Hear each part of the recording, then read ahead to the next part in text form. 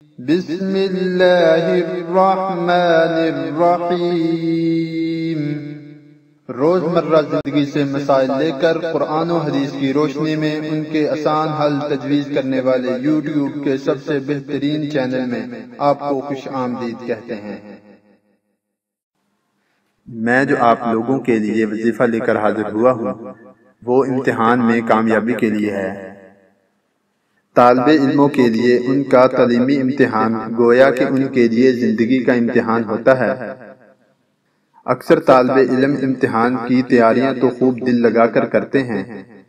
مگر رزلٹ ان کی مرضی کے مطابق نہیں آتا۔ ایسی صورتحال میں طالب علم اور ان کے والدین دونوں ہی پریشان ہو جاتے ہیں۔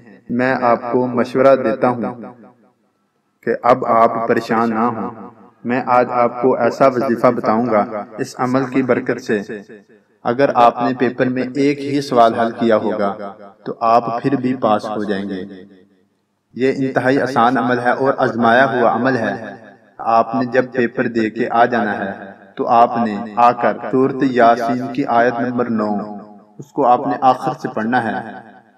جب آپ نے پیپر دے کے آ جانا ہے اس وقت سے لے کر جب تک آپ کا رزلٹ آؤٹ نہیں ہو جاتا اس وقت تک آپ نے اس آیت کو پڑھنا ہے۔ اس آیت کو ایک بار سن لیں۔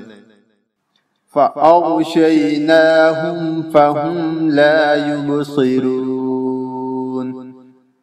آپ نے اس آیت کو پڑھتے رہنا ہے۔ اور پھوک مارتے رہنا ہے۔ اس عمل کی برکت سے اللہ تعالیٰ کے حکم سے اگر آپ نے پیپر میں ایک ہی سوال حل کیا ہوگا، تب بھی آپ فیل نہیں ہوں گے۔ یہ ازمایا ہوا عمل ہے۔